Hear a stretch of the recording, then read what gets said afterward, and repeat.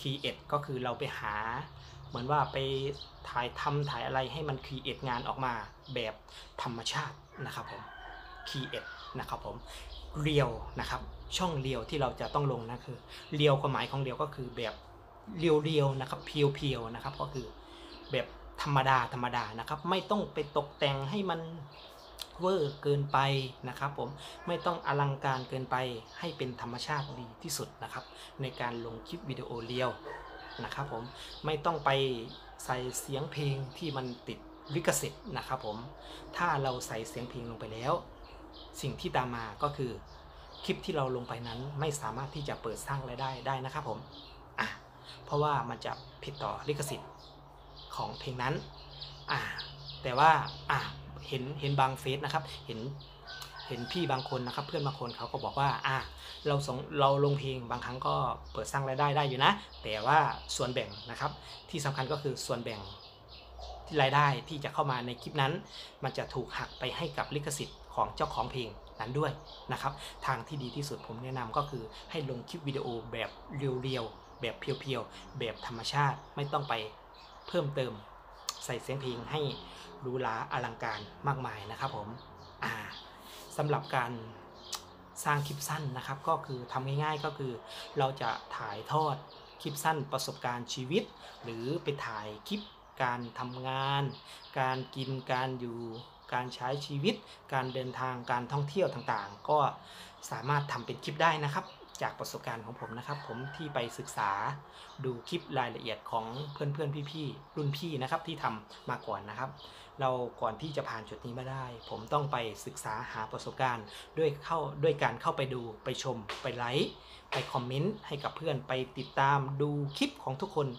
ตอนนี้ผ่านมาเดือนกว่านี้ไม่น้อยกว่า 5,000 กว่าคลิปแล้วที่ผ่านตาของเราเข้าไปดูว่าอ๋อคลิปนี้มีคุณภาพคลิปนี้ เฮฮาเฮฮาตลกขบขันคลิปนี้เป็นเกี่ยวกับการทำอาหาร เป็นสูตรการทำอาหาร เราก็จะได้ประโยชน์จากการชมคลิปนี้แต่ละคลิปนะครับ เราก็จะไปเก็บเกี่ยวประสบการณ์จากการทำคลิปของเพื่อนแต่ละคนอ่าแล้วก็ค่อยมาปรับเปลี่ยนมาประยุกต์ใช้กับคลิปของเรา หาตัวตนของเรา หา จุดเด่นของเราออกมาให้ได้ด้วยการลองผิดลองถูกในการทำคลิปวิดีโอส่วนตัว เริ่มจากส่วนตัวก่อนนะครับทำคลิปเกี่ยวกับชีวิตประจำวันของเราก่อนนะครับผมเกี่ยวกับครอบครัวของเราเกี่ยวกับลูกกับเต้า เกี่ยวกับการใช้ชีวิตก่อนเราไป แล้วเราเมื่อเราเหมือนว่าพัฒนาของเรามีประสบการณ์แล้ว เราค่อยขยับขยายคลิปของเรานะครับ หาจุดเด่นจุดที่ จุดที่มีคุณภาพของเราออกมาให้ได้นะครับ ตอนนี้ผมก็ยังเป็นมือใหม่อยู่ ยังเหมือนว่ายังจับจุดตัวเอง ก็หาแนวทางของตัวเองก็ยังช่องทางของช่องเรานั้น ก็ยังยังไม่แน่ชัดอยู่นะครับว่าเราจะทำเรื่องไหนดี ให้มันตรงกับบุคลิกของเรา ตรงกับจุดของเรานะครับ ก็ ถ้าเพื่อนๆพี่ๆพ่อแม่พี่น้องทุกท่านนะครับ ได้มาเห็นคลิปนี้แล้วก็คืออยากจะฝากให้ท่านมาคอมเมนต์ให้คำแนะนำว่าผมน่ะเหมาะกับการทำคลิปแบบไหนที่จะออกมาสู่สายตาของ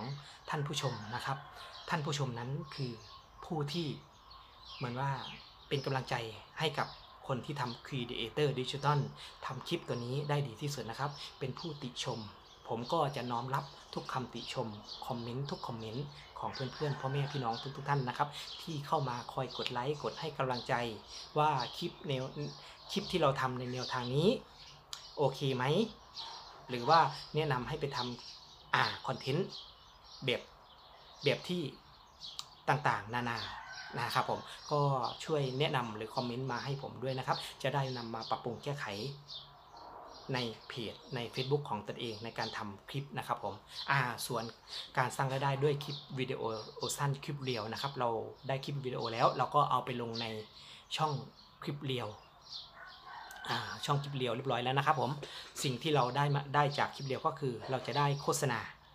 โฆษณาเข้าคลิปเรียวคลิปสั้นนะครับ รายได้จะมาจากส่วนนี้อ่า